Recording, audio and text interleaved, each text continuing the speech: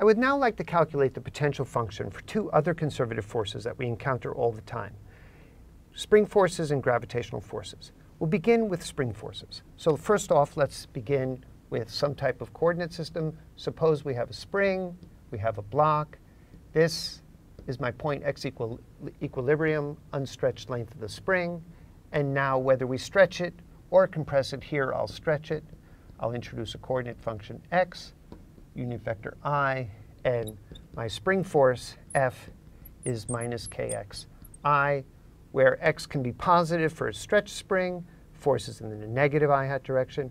When x is negative, negative times negative means the spring force is in the positive i hat direction when it's compressed. So this is a force that's a restoring force, always back to equilibrium. This is an example of a conservative force.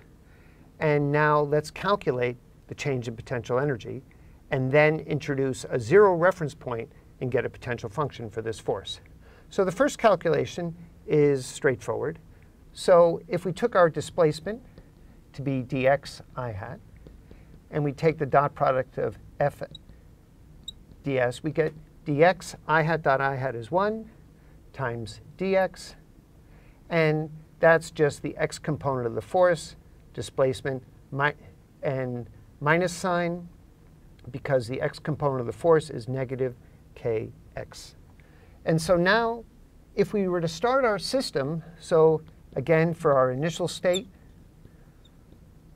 let's say that the block from the unstretched position has, is stretched xi, and our final state.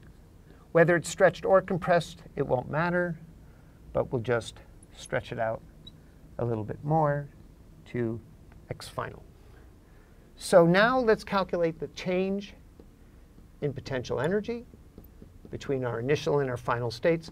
Now recall, there's a minus sign because it's minus w conservative.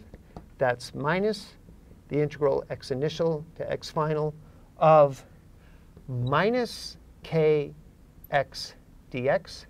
We have two minus signs. That's our integration variable if you want to see it in all the detail. And when you simply integrate x prime dx prime, you get x prime squared over 2. And so the change in potential energy between these two states is 1 half k x final squared minus 1 half k x initial squared. And that's physically meaningful if I take my system initially and I, the system ends up in the final state, then what I'm calculating is minus the work done by the spring force on the block as it goes from the initial state to the final state. I'm not talking about the work that an external agent does in stretching it or compressing it. This is explicitly the work done by the spring force on the block as it goes from the initial state to the final state. I introduced the minus sign in our definition of potential energy. And so this quantity represents the negative of the work done by the spring force as the system goes from the initial to the final states. Now, you may have already thought about it, but the reference point that we're going to use is x equals 0, the unstretched length of the spring. And our reference potential at that point will be 0, so our reference point is actually the 0 point for the potential. And then our arbitrary state, we can call this the reference state, if you like. That's probably better than the reference point.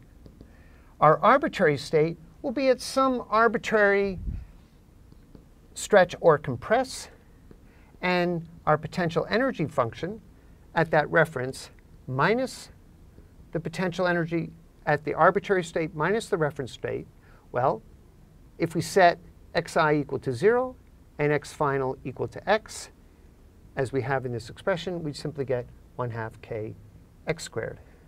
So the potential energy function equals our reference potential plus 1 half k x squared.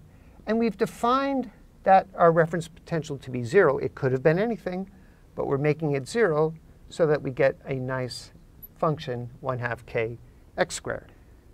And again, it's always worthwhile to plot that function. It's a nice parabola, u of x, x. And you can see down here, that's our reference point.